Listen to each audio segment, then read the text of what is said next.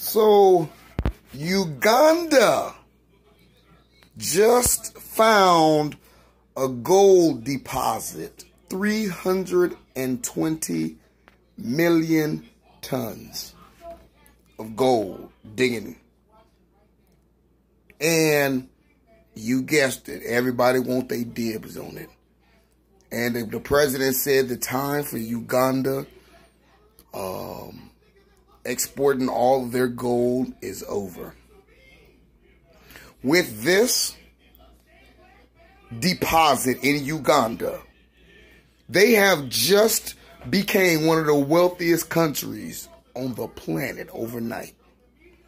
You think that, uh, and, and United States, them trying to talk about sanctioning them because they don't want to give the United States none. The United States don't want the, no African country to rise.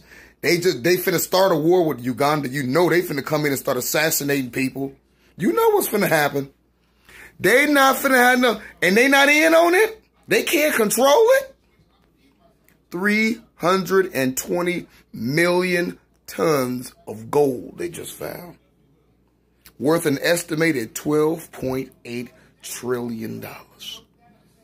Do you know what they're thinking about getting their hands on all of that? Kill everybody. They'll unleash hell on earth to keep them people, them, black Africans from ever rising. You got one that's creating the TV with no power, a car with no power, one running on water.